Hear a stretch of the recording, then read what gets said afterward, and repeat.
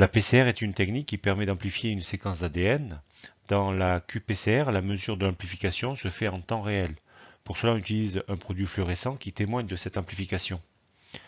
Le produit que l'on peut utiliser, c'est soit un agent intercalant, comme le CyberGreen, soit on peut utiliser aussi une sonde marquée, comme la sonde TACMAN. Pour suivre cette amplification, on utilise un thermocycleur particulier. Voici le profil d'amplification obtenu. Sur le graphique de gauche, on voit l'amplification d'une quantité d'ADN, par exemple, avec un graphique qui ressemble à une sigmoïde. Il y a trois phases. Une première phase appelée bruit de fond. Dans cette phase, la quantité du fragment amplifié est insuffisante pour générer un signal supérieur à celui du bruit de fond de l'appareil. Une deuxième phase, appelée donc ici phase exponentielle. Ici, le nombre de produits double à chaque cycle. Et une phase dite plateau, où certains composants, comme l'enzyme, ne sont plus assez disponibles et l'amplification n'est plus exponentielle. Sur ce graphique, on voit aussi la notion du CT.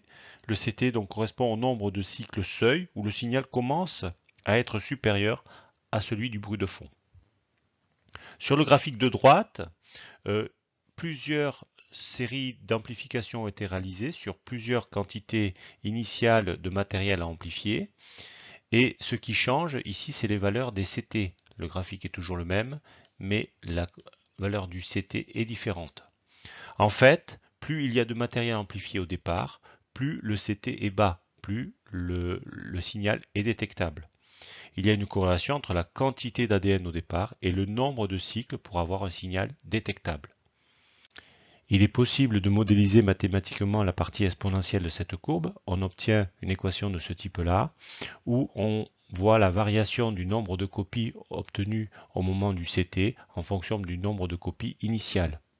Cette équation peut être linéarisée en utilisant les logarithmes et en sortant le CT on obtient une équation de type affine ici, une fonction affine, y égale ax plus b, et pour n'importe quel ct, on pourra trouver la quantité initiale d'ADN, et vice-versa pour n'importe quel n0, on trouvera le ct. Techniquement, on réalise la qPCR sur une série de solutions étalons d'ADN de concentration initialement connues, les N0, et pour chacune d'entre elles, on trouve les CT. Ensuite, on trace la droite CT en fonction du logarithme des concentrations. On obtient donc la gamme d'étalonnage suivante. Pour la solution inconnue, il suffit de la passer en QPCR, de déterminer son CT, puis la valeur du CT, on la reporte sur la gamme d'étalonnage, puis sur l'axe des X pour obtenir la concentration de la solution inconnue.